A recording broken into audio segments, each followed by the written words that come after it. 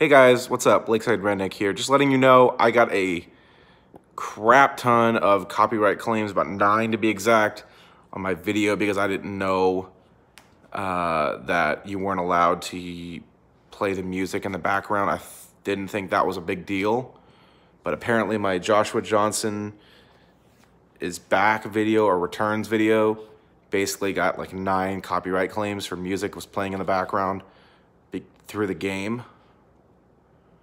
Um, I did not claim to be the owner of any of these video music, you know, songs or anything like that. So I don't know why they gave me copyright claims. I think it's kind of lame to be honest, but I can understand why you want to protect, you know, their music and all of that. So I can understand that. So tomorrow's video will be a redo because I'm going to take my video down uh, to avoid getting demonetized or getting a copyright strike.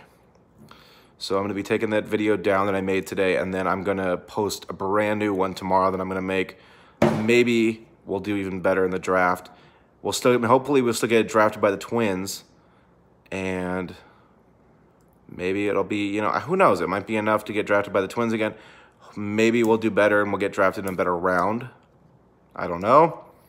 We'll see what happens. Uh, but yeah, that's just all I wanted to let you guys know. So stay tuned for that tomorrow. Um, I get home tomorrow at between 6 and 7 Pacific time. For those of you over on the East Coast, that's going to be about 9 o'clock, 10 o'clock your time, PM.